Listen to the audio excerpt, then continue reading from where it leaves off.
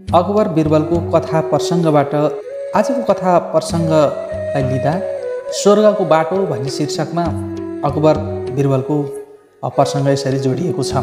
बिरबलका विरोधीहरूले जति नै खेदो खने पनि बिरबल बादशाहका प्रिय पात्र भइ नै रहेका थिए र दरबारमा उनको सम्मानजनक स्थिति बनिरहेको थियो।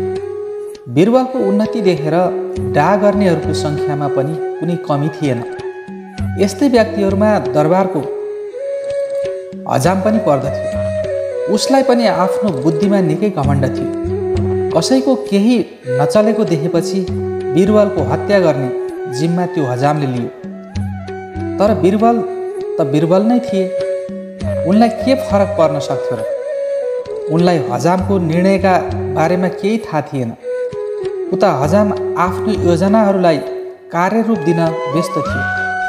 उसले भित्रभित्र धेरै योजनाहरू बनाइरहेको थियो कोसिस गरिरहेको थियो। उसलाई सघाउने दरबारका अन्य बिरबल विरोधी व्यक्तिहरू पनि थिए।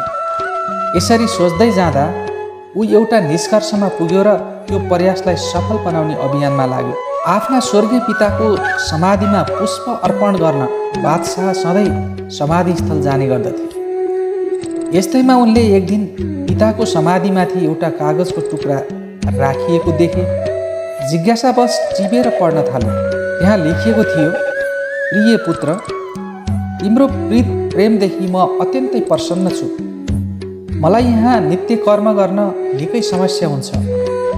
मलाई साँच्चीकै प्रेम गर्छौ भने मेरो सहयोगका लागि बिरबललाई म म कहाँ पठाइदेऊ पत्रमा बिरबललाई त्यहाँ पठाउने बाटो पनि वर्णित थियो।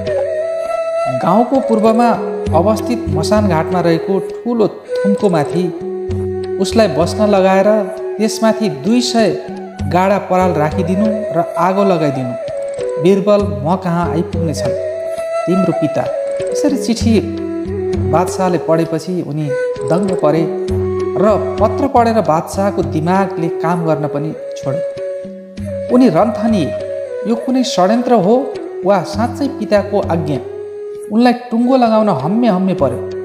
यस्तो आश्चर्य उनले आफ्नो जीवनमा कहिले देखेका थिएनन्।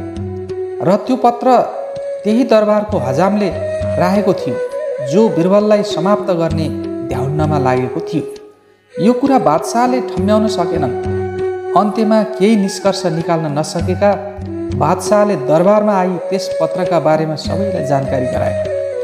बिरबलमाथि आइपरेको यो सङ्कटबारे थाहा पाई उनका विरोधीहरू निकै खुसी भए।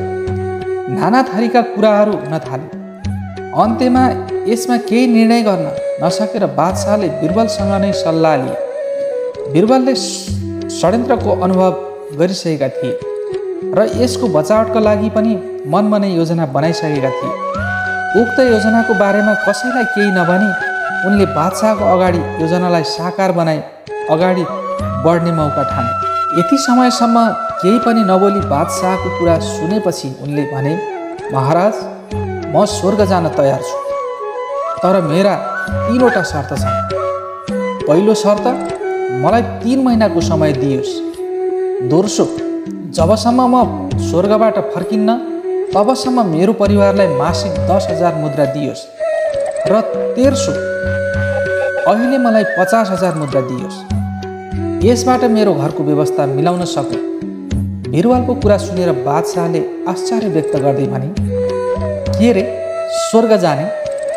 बिरबलको जवाब थियो हो महाराज म स्वर्ग जान्छु। एकपटक त्यहाँको पनि भ्रमण गर्नु पर्यो बादशाहले दुखी मनले बिरबललाई शर्तहरू स्वीकार गरे। उता उनका विरोधीहरू आफूहरूको प्रगतिको काँडा आफै हट्ने भयो भन्ने सोचेर ज्यादै खुसी भए। उनीहरूलाई के थाहा बिरबलको चतुर्याईको बारेमा? उनीहरूले सोच विचार गर्न सकेन। बिरबलले भित्रभित्र कुनै योजना बनाउँदैछन् भन्ने। तिन महिनापछि बिरबलका अधिकांश शुभचिन्तकहरू मसान घाटमा उपस्थित थिए। सामान्य प्रजासँगै बादशाह पनि अत्यन्तै दुखी देखिन्थे।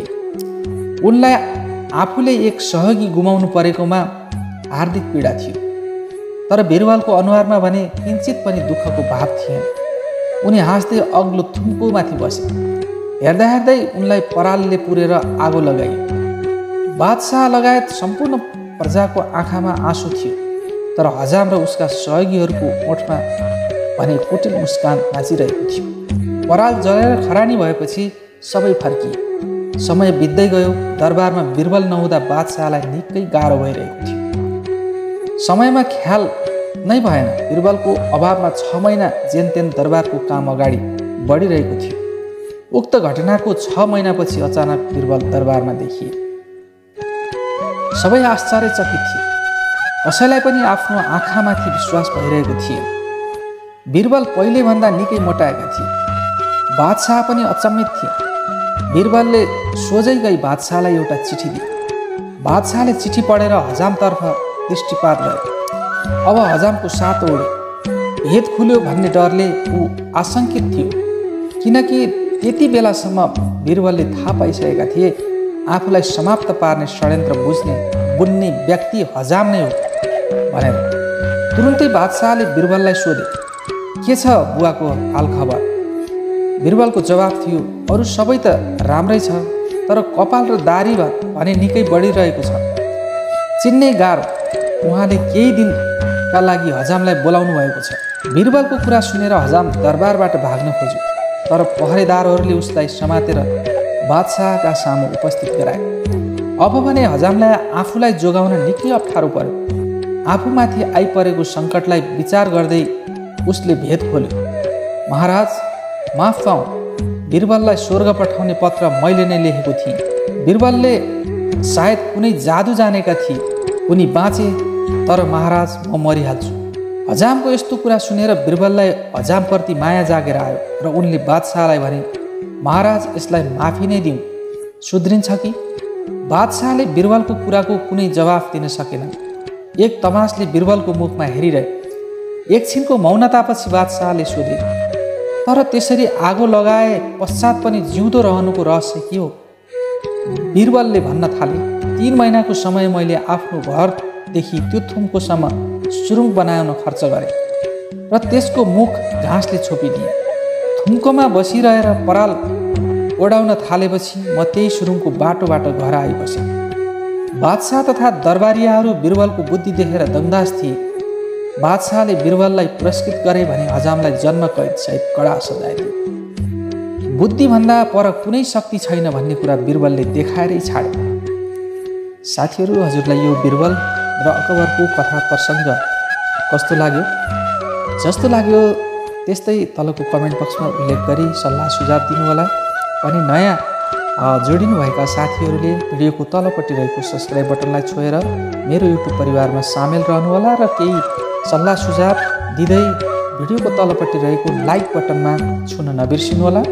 हजुरहरूलाई यस्तै खालका अन्य जानकारीमूलक कथाहरू रमाइला प्रसङ्गहरू कस्तो प्रक्रियाले सुन्न हेर्न हजुरहरूको इच्छा छ र हजुरहरू कस्ता प्रसङ्गहरू उल्लेख गर्दा कस्ता प्रसङ्गहरूको व्याख्या गर्दा हजुरहरू खुसी हुनुहुन्छ रमाउनुहुन्छ त्यसको प्रतिक्रिया दिन नबिर्सिनुहोला अर्को यस्तै रमाइलो प्रस्तुतिका साथ अर्को पटक भेट। गर्ने नै छु। हस्त यस पटकलाई। हस्त नमस्कार।